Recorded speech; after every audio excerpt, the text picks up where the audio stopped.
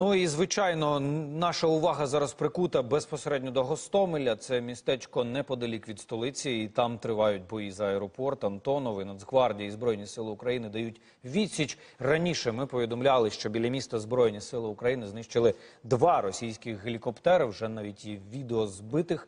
Е, гелікоптерів. Про це на своїй сторінці у Фейсбук писала прес-служба сухопутних військ збройних сил України. І з відео користувачів у соцмережах видно, що над Гостомелем е, літало близько 20 гелікоптерів. От зараз, друзі, якраз бачите кадри збитого е, російського ударного гелікоптера, який називається К-52 «Алігатор». Він звичайно росіяни вважають, що це о, там один з найкрутіших їхніх е, гелікоптерів. Але насправді, бачите, всі вони можуть збиватися, всі вони теж керуються людьми, всі вони можуть падати і переставати вести вогонь.